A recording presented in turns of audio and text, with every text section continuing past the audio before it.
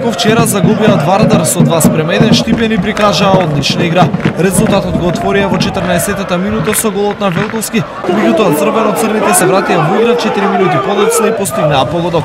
1 спрема 1 беше резултатот по првите 45 минути, а во вториот дел се играше далеку поинтересен и тензичен фудбал. Се доделија два црвени картони, од редовите на Брегалница беше исклучен Дарко Стојанов во 76-та минута, додека Вардарци со играч полука останаа уште во 49-та минута.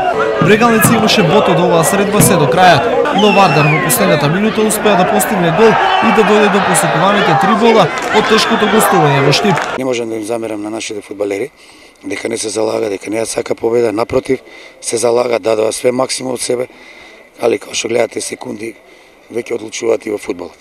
Инаку, крајот на Преворот го одбележи инцидентот со обикуваната на Брегалница, каде дошло до вербална расправија со вардарци. Според полицијата, причина за инцидентот била навреда на штитските фудбалери, по што за смирување на состојбата мораше да реагира и полицијата. За време на интервенцијата, еден од играчите на Ватар удрил еден од полициските службеници. Се работи на документирање на случајот, пошто ќе следи и соодветна пријава.